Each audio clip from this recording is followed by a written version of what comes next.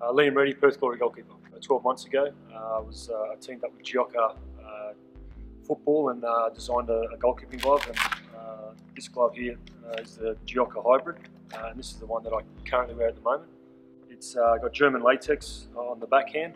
um, and also on the palm. designed it so with a negative cut in the two middle fingers here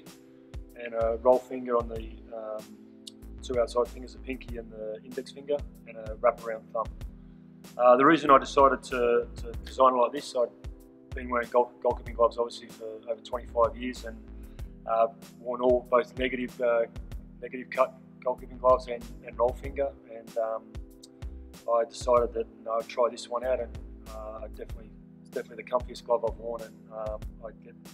uh, the best out of my game in it. If I have the roll finger on all four uh, it just felt too bulky, um, and, and, with a slim negative cut in the middle, it doesn't give it that bulk, and it still gives me a, a really good feel for the ball when, when, the ball hits. Also with the wraparound thumb,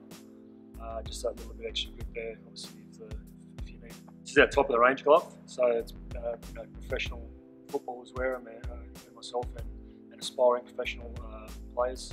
and uh, good junior players. So playing in, uh, for a long time and, and, using a lot of different gloves, I find that these ones I've designed these ones a, a nice tight finger so you feel that you're actually catching the ball and, and there's no uh, space in, in between your fingers and, and, the glove. Incorporated this here just to help you, uh, just to pull it down obviously to make it a little snugger and it's a nice, nice tight wristband. We decided to go with black um, just to be a little bit different and, and to stand out. Um, I think it looks really good um,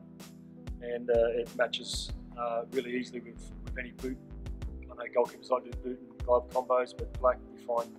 just good with any keeper strip or, um, or boot combo that keepers like, and um, yeah, it always looks looks good. And I think that's the most important thing that you put a pair of gloves on and you feel confident in them straight away because uh, there's nothing worse than you know wearing a pair of gloves that you don't feel confident